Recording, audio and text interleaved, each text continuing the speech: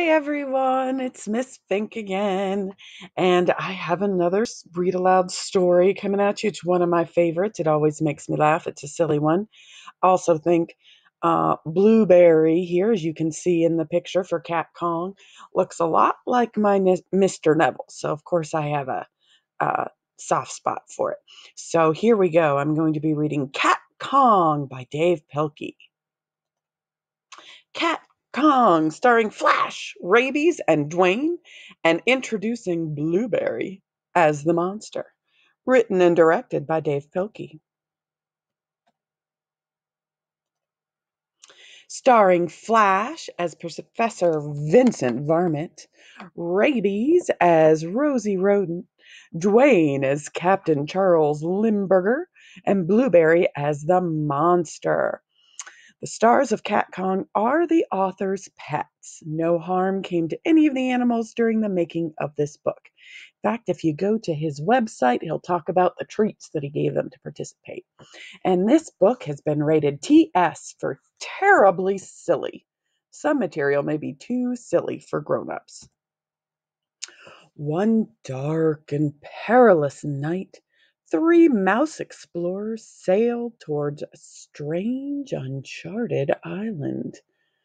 Captain Charles Limburger steered the tiny vessel, while Dr. Vincent Varmint and his beautiful assistant, Rosie Rodent, looked on. When they reached the island, the three explorers were astonished. A group of natives was performing an ancient ceremony, offering up a sacrificial can of tuna fish and repeating a mysterious chant. Here, kitty, kitty, here, kitty, kitty, here, kitty, kitty, kitty. Suddenly, the island began to tremble. Crashing through the thick forest came the most frightening creature ever known to mouse kind, the mighty Kat Kong. Meowing and hissing ferociously, the colossal cat took three giant kitty steps and tripped over the tuna fish can. Clunk! Kat Kong bumped his head on the ground and was knocked out cold. "Hmm, if only we could bring him back to the city with us," said Dr. Varmint. "No," replied Rosie Rodent. "It would be wrong to take this creature away from its natural habitat just to satisfy our scientific curiosity." "Hmm, forget science," squeaked Dr. Varmint. "Think of the money we could make."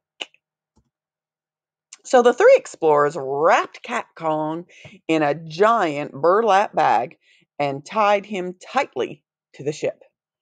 As they sailed back to the great city of Mouseopolis, they took special care not to let the cat out of the bag.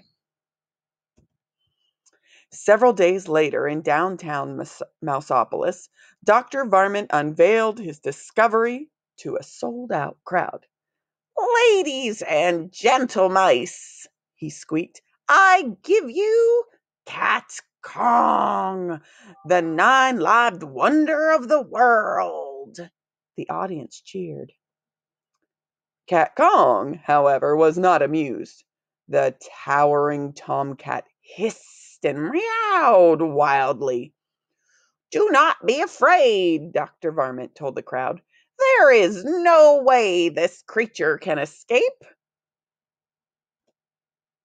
I repeat, there is no way this creature can escape. Well, uh, actually, I could be wrong about that. Soon the city of Mouseopolis was in a panic. The ferocious feline tore through the streets, knocking down buildings, ripping out power lines, and generally causing quite a ruckus. Captain Charles Limburger rushed off to organize a counterattack team, while the beautiful Rosie Rodent watched the dis- destruction from her apartment window. Help! cried the engineer. The cat's got my train! Help! squeaked the butcher. The cat's got my tongue! Help! shrieked Rosie. The cat's got me! Soon the crazed cat was heading straight for the top of the Romano Inn, with the beautiful Rosie tailing behind. A fleet of airplanes quickly flew into action, but their weapons were useless against the meowing menace. It seemed as if nothing could stop the terrifying Kat Kong. Then, suddenly, a squeaking ray of hope rocketed through the thick clouds of gloom and despair. Captain Charles Limburger to the rescue! Captain Limburger had a plan. He swooped close to Kat Kong and held out a red package tied with gold ribbons. Hey, cat! he shouted. Look what I've got!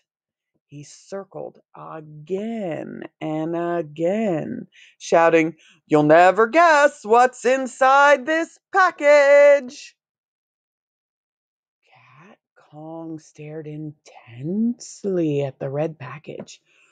With each passing second, the colossal kitty's interest grew and grew. Finally, Kat Kong could stand it no longer. He had to find out what was inside that package. With one swift paw, the puzzled pussycat reached out for the red package and lost his balance. Meow.